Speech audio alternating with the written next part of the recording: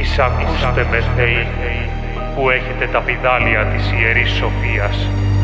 και ανάβοντας αναγώγιο πυρ στις ψυχές των μερόπων τις έλκετε προς τους αθανάτους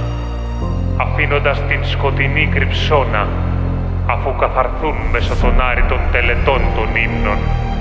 Εισακούστε με, μεγάλοι σωτήρες, σκορπίστε την ομίχλη και στείλτε σε μένα φως αγνό από τα ζάθεα βιβλία,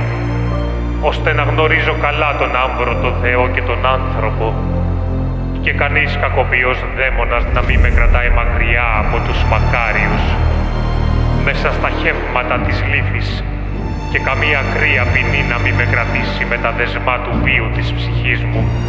που έχει πέσει μέσα στα κύματα της κρυερής γενέσεως, αλλά δεν θέλει για πολύ καιρό να περιπλαγέται. Αλλά, Θεοί, ηγεμόνες της πολύλαμπρης σοφίας, εισακούστε με